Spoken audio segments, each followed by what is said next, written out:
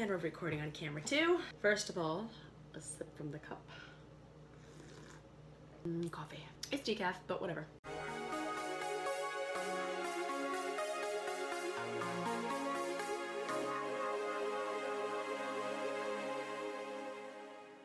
Okay, hey everybody, you're watching Ballerina Badass. My name is Georgia Reed, and I am really excited to get my third, uh, what do you call this, installment of Dance Magazine. I used to get Dance Magazine when I was a little, little kid. My grandmother ordered a subscription for me, and I didn't fully appreciate it back then. Now here it is years later, and I saw them at the studio and was like, oh, I miss getting Dance Magazine. Know, I found myself reading it over and over again. So finally, finally, I got myself a subscription. So this is the April 2017 issue. I just wanted to do this with you guys and I'm just opening it up for the first time, so no idea what's gonna be in it. This is the choreography issue, which is very exciting to me. I love choreography. I've done a little bit. I'd like to do more. Um, this one is the choreography issue, Secrets of Making Dance for TV, Concerts, Ballet, and Beyond. Oh, wow. So they're going to turn Charlie and the Chocolate Factory into a musical, probably which means it will also be a live musical danced movie as well. We have the live musical two versions without the extra dancing. Why not? Who knows? Improve Faster. Tips for making corrections stick.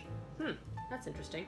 Final curtain. Corps de Ballet lifer on her last season. I cannot imagine spending my entire career in the Corps de Ballet. I would go fudge nuts. Mm. Let's get into it. Let's get into it.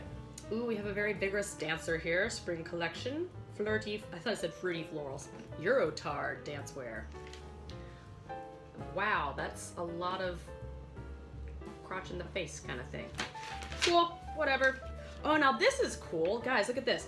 January Dance Magazine Video of the Month. Did you guys know about this? Congratulations to Sasha Demas, winner of January's Video of the Month contest. And it also got her uh, scholarship. Cool, you could be the next winner. Enter your dance film at dancemedia.com. And then, oh, two famous English novels get the ballet treatment. In Charlotte, North Carolina, they're putting together Wuthering Heights as a ballet, very cool. And in Princeton, New Jersey, they're doing Pride and Prejudice as a ballet. Right on! Okay, that's interesting. What else? Ooh, cultivating choreographers. Okay, we're on page 14 now. Dutch National Ballet is taking steps to nurture tomorrow's dance makers. Oh, I like that. So they're really trying to um, encourage new choreographers to work on things. That's great. I say if you guys can find a company or local dancers that you can work with and try new things on, it's a great opportunity. Another, um, I can put my leg up in the air and here's my crotch kick. Really into the crotch kicks and stuff right now. Okay, what's next?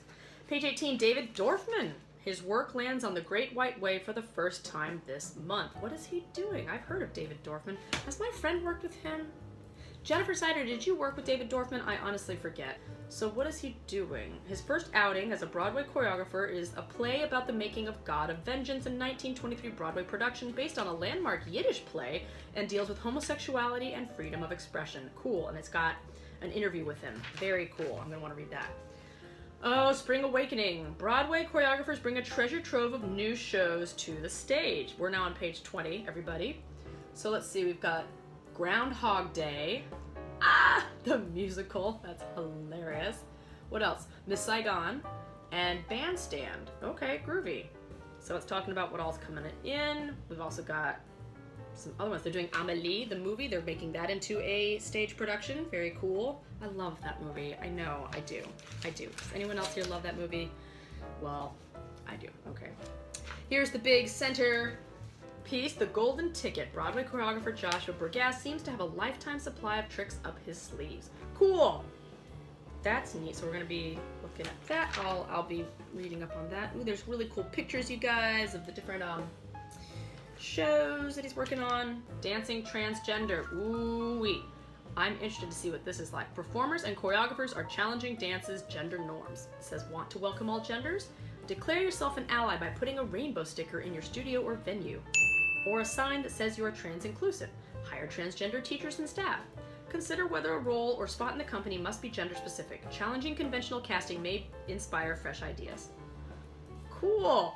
Well, for one of my followers uh, who is an avid dance fan, uh, Brack Thomas Fisher, uh, he wants to be the first male to ever perform Giselle. It's exciting. He's been talking about this for a long time. So I think that the way things are shifting, I'm interested to see if he doesn't pull it off. Or she, for that matter. Ooh, cool. Joffrey ballet dancers express their individuality in the studio, and it's got really pretty leotards and tights. Yeah, neat. Take corrections correctly. Learning how to incorporate criticism is an essential part of any dancer's training. Mm-hmm. If the teacher is giving it to you in a way you can hear. Be receptive. It's true. You have to be receptive. You also have to find the teacher that knows how to push your buttons in a healthy way, I think. Dancers can retain approximately seven corrections at a time. Huh, didn't know that. That's interesting. To help recall notes later, journal all your feedback each night and look it over before class. I agree. Journaling is great. So that's a really interesting article. Okay, here's this thing on page 58. Funny girl choreographer Kathryn Burns melds dance and comedy for her work on shows like Crazy Ex-Girlfriend. Okay, so this is about the choreographer and what she does. Cool. I would definitely want to read that.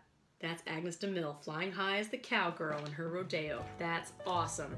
One of the dancers who trained at my studio growing up uh, Elizabeth Farrell. She was way ahead of me, and we all, you know, didn't even get to meet her. We looked up to her, and she became a dancer with ABT Ballet, and she learned the cowgirl role directly from Agnes DeMille, which is amazing. So, ah, and of course Stella Obrowski. Stella Obrowski on the back, you guys. Woohoo!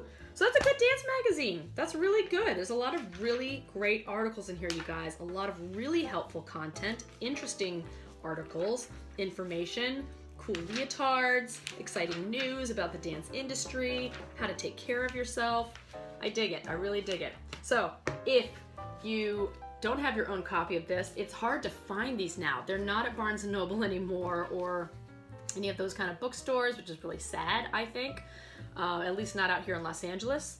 Um, but you can definitely order it online. I think they have a digital version as well. And of course, you can follow Dance Magazine on Instagram and on Twitter and probably on Facebook as well. Be sure to check out Dance Magazine, get the latest. To Dance Magazine, thank you so much for continuing to make a fantastic dance resource for all of us dancers out here. Be sure to like, comment, and subscribe. And thank you all so much for watching as always. My name is Georgia Reed. You've been watching Ballerina Badass. Never give up, never stop dancing. I love you all. Toy, toy, toy.